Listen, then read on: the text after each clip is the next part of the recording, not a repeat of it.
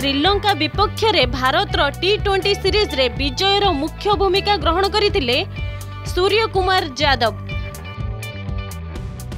series ନିର୍ଣ୍ଣାୟକ ତୃତୀୟ ମ୍ୟାଚ୍ରେ ସେ ଧୂଆଁଧାର ବ୍ୟାଟିଂ କରି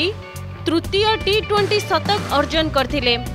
ଏକାବନଟି ବଲ୍ରୁ ଅପରାଜିତ ଶହେ ବାର ରନ୍ ସଂଗ୍ରହ କରିଥିଲେ ସୂର୍ଯ୍ୟ କୁମାର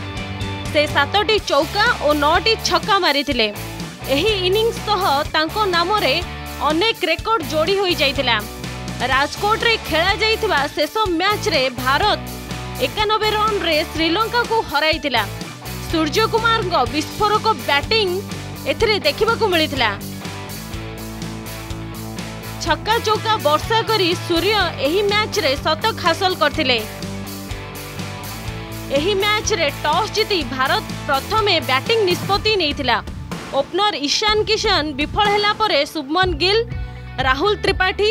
ସୂର୍ଯ୍ୟକୁମାର ଯାଦବ ଚମତ୍କାର ପ୍ରଦର୍ଶନ କରିଥିଲେ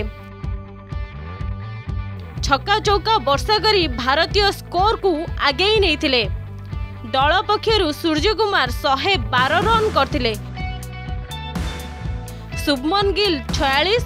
ରାହୁଲ ତ୍ରିପାଠୀ ପଇଁତିରିଶ ରନ୍ କରିଥିଲେ